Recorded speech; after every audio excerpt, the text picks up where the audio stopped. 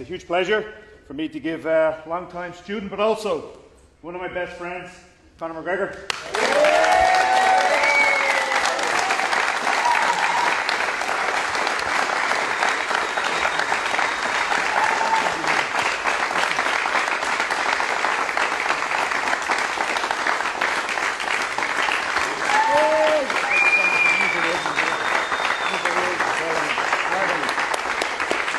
Appreciate this, guys. Thank you so much, John, for everything over the years. It's just great to be home. It's great to bring another UFC talent and see all the talent here in the gym. And I'm- with SBG for life, and I appreciate this. It means the world to me. Thank you so much.